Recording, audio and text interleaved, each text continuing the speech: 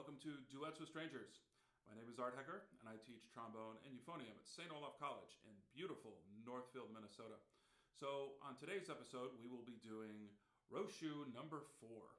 Actually, you will be doing Rochut number four, and I will be playing the accompaniment to Rochut number four, as realized by Tom Ervin in his book, uh, Counterparts to the Rochuts.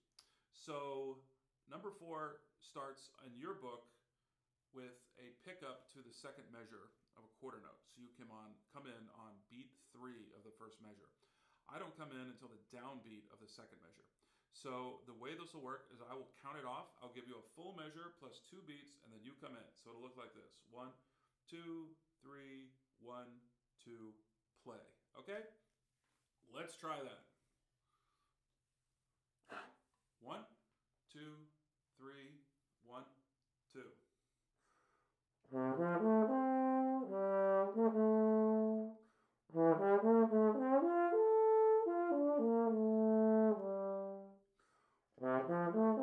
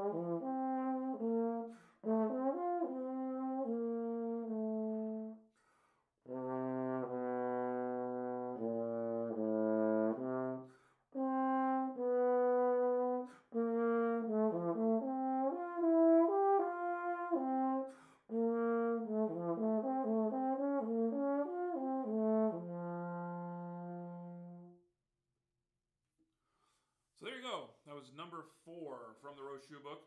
Uh, if you weren't playing number four, if you're trying a different one, probably didn't work as well. So go back and do it again, playing number four.